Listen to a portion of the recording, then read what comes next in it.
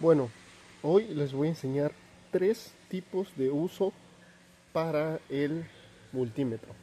Para los que no saben utilizar multímetro. Vamos a iniciar con la prueba de continuidad. Podemos observar que viene siendo desde aquí hasta aquí. Tiene bastantes escalas. Bueno, eso lo van a requerir, depende lo que vayan a medir. Pero bueno, vamos a poner un ejemplo. Aquí estamos hablando en pitador. Cuando tú unes las dos puntas, suena. ¿Oyen? Suena. Entonces quiere decir que hay continuidad. Si tú checas, por ejemplo, de aquí a aquí, te va a marcar continuidad. Por ejemplo, podemos marcar uno de este. No importa la polaridad. ¿Por qué? Porque, porque es continuidad. Entonces, por ejemplo, tendríamos que checar si este cable y esta parte de acá tiene continuidad. Esto yo simplemente lo estoy haciendo para probar. Ok ahí estaríamos probando continuidad. Qué pasa cuando nos encontramos partes sulfatadas esto yo lo hice para prácticamente para demostrar el punto. Por ejemplo vieron no marca. ¿por qué? porque está sulfatada esa parte entonces ahí estaríamos hablando de que ahí podríamos tener un problema. Si, vamos a poner un ejemplo, si tuviéramos un cable que estuviera de aquí, aquí, vamos a poner un ejemplo, ahí está tocando esa parte de ahí. Si nosotros agarramos uno del multímetro, lo ponemos aquí abajito para que haga contacto y este otro acá y no marca nada, quiere decir que este cable no está pasando continuidad.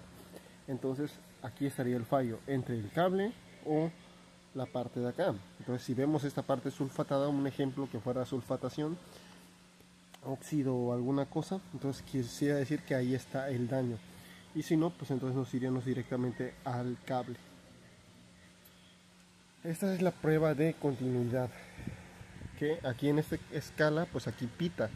Tú te das cuenta porque pita, no es necesario que estés viendo, simplemente y ya te das cuenta, ¿no? Y tiene además de eso, tiene otras funciones.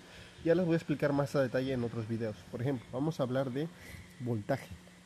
Tú quieres checar el voltaje, por ejemplo, de un carro, de una, de un carro, de una moto, etcétera, de un trailer, de la batería. Estamos hablando que son 12 voltios, ¿no? Es esta la escala. Vean este dibujo para que ustedes vean. Ven la B y ven su dibujito, su signo, ¿ok?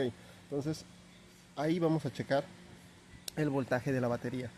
Entonces podemos ver que tiene 200 mil eh, tenemos 12, 2B, 20B y 200B y 600 voltios.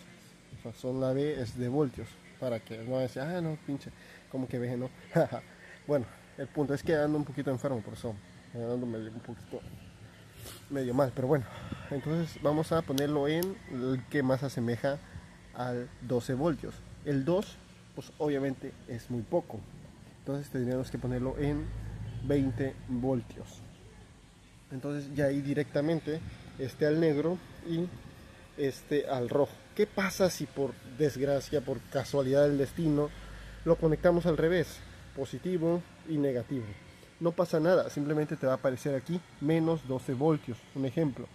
O 12 voltios normal quiere decir que estás conectando bien. Eso te sirve también para ubicar eh, el cable positivo y el cable negativo, un ejemplo.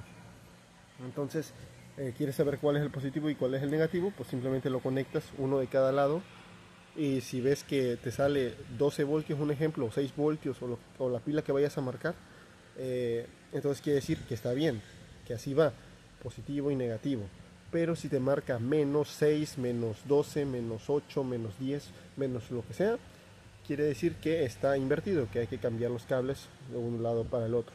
Eso es todo. Ok, otra de las funciones, vamos a checar el voltaje de luz de casa. ¿Cómo sabemos si hay luz? Por ejemplo, luego tenemos algo conectado ya sea en serie, en paralelo, como lo tengan conectado un ejemplo. Por ejemplo, aquí tienen un foco, acá tienen otro foco, pero ¿cómo saber este foco prende, este foco no prende y luego aquel foco sí prende. ¿Cómo checar si tiene voltaje esa parte de ahí?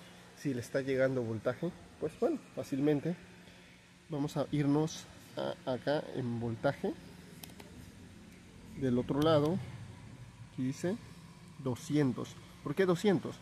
Porque la luz es 110 a 200 voltios.